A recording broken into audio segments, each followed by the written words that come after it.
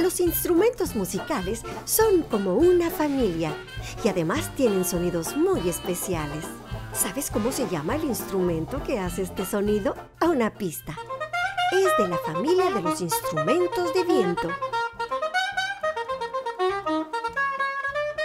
Sí, es el saxofón.